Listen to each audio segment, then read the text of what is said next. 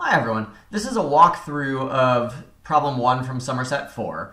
Um, whenever you're making classes, you need two different classes. One to define the type of object you're interested in making, so here sphere with a capital S.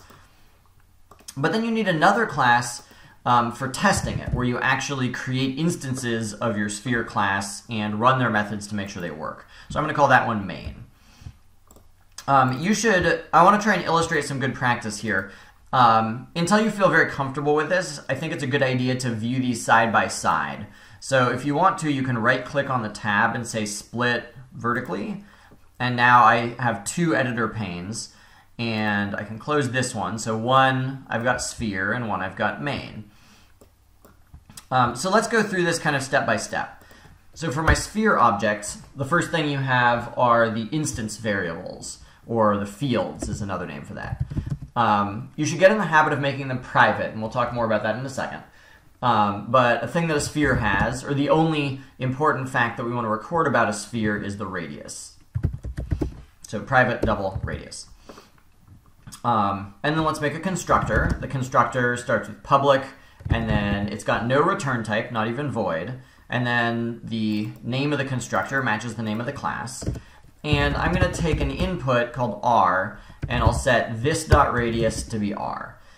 Um, the this keyword is actually only required if there's ambiguity between your parameter name and the field name of your object. So for example, if they were both radius, and I didn't have the keyword this, now we don't know which radius is supposed to save inside which other radius. Um, so the keyword this refers to the currently executing object, so whichever object is running this sphere code. Um, and so when I say this dot radius, we're referring to the variable that's the uh, field of the current object. So we're referring to this one up here. Um, but it, like I said, it, you only need that if there's a name ambiguity. If we have r here, and this is r, then you wouldn't actually need to have the keyword this. Okay, this is enough that we can actually start creating sphere objects. So over here in main, I'll do psvm tab to create my main method. And then I can say sphere s equals new sphere. Um, the keyword new is what actually runs the sphere constructor. And then this is the name of my constructor, and over here we see it takes one input, the radius. So let's create a sphere with a radius of 3.3. Um, you see here inside IntelliJ, it's actually displayed the name of the parameter r here to remind you what this number is about, which is a really nice feature of IntelliJ. All right, um, let's do something that we wish would work but doesn't. Um, system.out.println s. So it would be nice if this printed information about the sphere. If I go ahead and run the program, you'll see what actually happens is it prints this thing which says sphere, at sign, and then all this. Um, this is a memory reference to where your sphere object actually got created in memory. That's not very helpful. So you can do, uh, you can fix this problem by creating a method called toString that looks like this in the sphere class. So it returns a string, it's called toString, with a lowercase t and an uppercase s.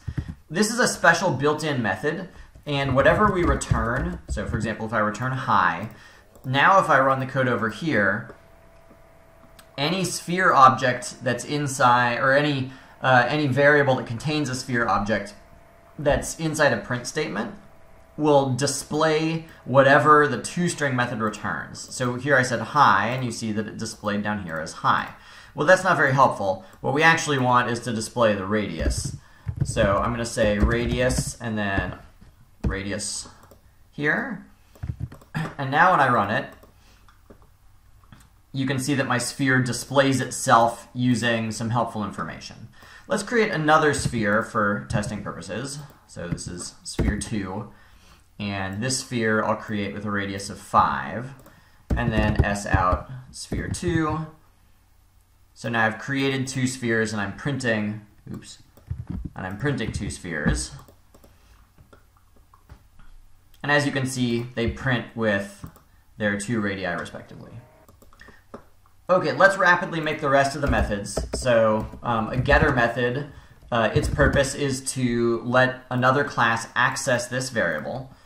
So uh, I'll call it getRadius, and it doesn't take any inputs, and it just returns this radius. A setter method is the opposite. A setter method will let another class set the value of this variable. So public void set radius. I need an input for whatever the new radius is, and I'll say this dot radius equals new radius. I've got a volume method, so that should return a double. It's called, or is it just called volume? Okay. I don't need to take a radius as input because the sphere object knows its own radius. So I'll be using that radius variable up there. So let's return, let me do something a little bit wrong first, and then we'll talk about why it's wrong. So 4 thirds times pi times this dot radius cubed. Okay, so um, there's several things wrong with this. First, this is not uh, the way that you can actually cube a number in Java. Um, if I wanted to, I could cube it by saying math.pow radius comma 3, and that's the same thing as saying radius to the power of 3. That runs quite slowly, actually. So I think what's, in, what's a little bit better is just to say radius times radius times radius. Um, there's another problem. 4 thirds, remember, um, because 4 and 3 are both integers, this will perform integer division. And so this will be equal to the number 1, like the integer number 1, um, which is not very helpful. So you can fix that problem by making one of them be 4.0, so now they're not both ints, and now it will return the right thing. All right, so I'm returning the volume. What else did we have? So last one was the is larger than. So boolean is larger than. So this is interesting because you take another sphere's input, I'll name it other. And the idea is there's going to be some sphere object that's running this method. So I might say in my tester over here, for example, uh, s, so um, I might say if s dot is larger than s2. So in this case, uh, my sphere inside the s variable is the one running the is larger than method, and the other sphere inside s2 is the input. So the sphere inside S2 is what gets passed into this other input variable. Okay, so what's an easy thing I could do? I could say uh, if, so I could look at my radius. So I could say if my radius is bigger than other dot get radius, then return true. Because I'm saying if my radius is larger than the other one's radius, then that must mean that I'm larger than they are. So otherwise I could return false. Um, generally speaking, instead of uh, accessing your own variable this way, you can run your own getter method. So get radius, or if you prefer this dot get radius. So now this, this reads very nicely. Get my own radius. If it's larger than the other's radius, return true because I'm bigger. Um, doesn't have to be uh, radius. It could be volume. So if this dot volume is greater than other dot volume, return true. Um, there's another trick here, which is um, if this if statement is returning true, then I run this command, which returns true. If this if statement is returning false, then I go here and return false. So in other words, I want my method to return the result of whatever this evaluates to be. So instead of having this sort of if and, and other return statement down here, I could think about it this way. I could save I can say answer equals, and then I'll evaluate this dot volume bigger than other dot volume. So now this is going to be true or false, and I store that true false value inside answer, and then I could just return answer. Um, and now that you think about it that way, there's actually no purpose in saving whatever this evaluates into a variable if the only point is to return it. So instead, I could literally just return whatever it is that that evaluates to. And so now that's uh, sort of a much shorter, and we don't need these parentheses. So now that's a much shorter and cleaner version of, uh, of an if statement that just returns its own evaluation. On the testing side, if I wanted to be sure that these methods worked, um, I would do something like this. I'd create a couple of different spheres, I would display the two spheres.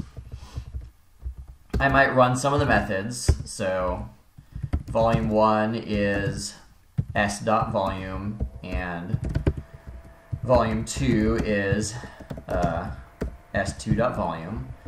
And then I would say like s dot set radius to something new, and s2, well, I guess I don't have to set s2. And so then I'd run these same things. So I'd display s and see when I set the radius to 10, did everything else change? And then what? Uh, new vol is going to be s dot volume. And then I do this. Um, so boolean answer equals s dot larger than s2, and then s out s larger, and then answer. So this can look like whatever you want it to look like. My only point is you want to write some code that will run each of your methods in a way that lets you actually look at the values and the variables and see how they're changing so that you can see if your methods did what they were supposed to do. So here I'm seeing uh, radius is 3 and radius is 4, which matches how I created them. And then it's printing two volumes, and you could double check by hand to make sure that those are the correct values. And now radius 10, so that's uh, from this print statement after I set the radius to 10, so I can tell that works. And now the new volume is much larger. And then is s larger, it says true, which is right because um, s got set to a radius of 10 and s2 still has a radius of whatever, 4. Um, so it's not a perfect check. It's sort of a sanity check to make sure there's nothing grossly obviously wrong. Um, you wouldn't want to send this code straight to production because there could be lurking situations where some sets of values don't work or some methods won't work if you run them in the wrong ordering. Um, but it's a good first pass. Okay, I hope this was helpful. Good luck on the rest of the set.